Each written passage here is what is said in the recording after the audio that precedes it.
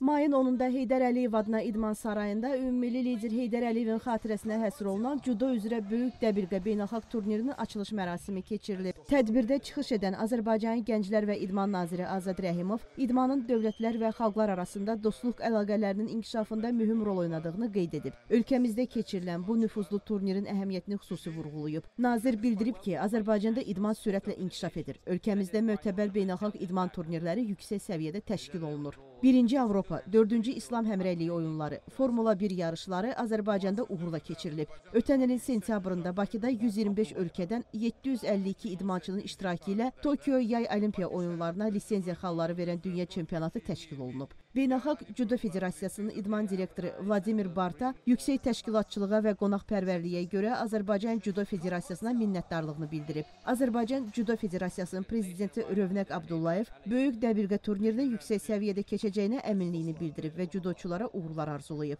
Federasiya prezidenti yarışı açıq elan edib. Sonra ümummilli lider Heydər Əliyevin idmana diqqət və qayğısı əks etdirən dahi şəxsiyyətin idmanla bağlı fikirlərinin yer aldığı, eləcə də Azərbaycanın idman uğurlarına həsr olunan videoçarx nümayiş etdirilib. Sevda Cəfərova, Şakir Qurbanov, Əfqan Poladlı, Azərtac.